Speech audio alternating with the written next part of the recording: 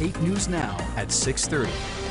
Four new elementary schools will open their doors to students for the first time on August 13th. And these schools are located in some of the valley's fastest growing areas and are named after influential people in our community. Shirley A. Barber Elementary is opening up in the southeast. Dennis Ortwein Elementary and Robert and Sandy Ellis Elementary can be found in the southern part of the valley. And then there is Kenneth Divich Elementary in the northwest. That's not too far from Farm and Hualapai. 8 News Now reporter Orko Manna shares a unique story involving one of Divich's new teachers.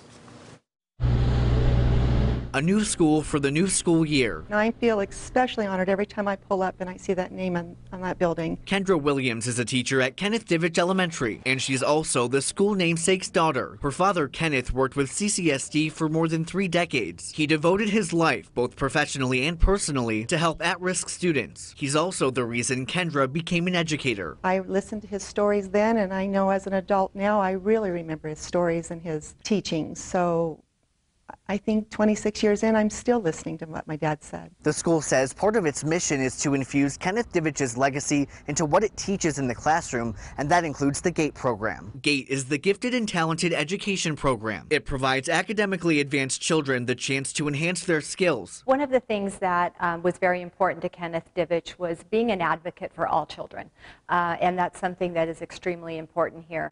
So we're just building our our tubes.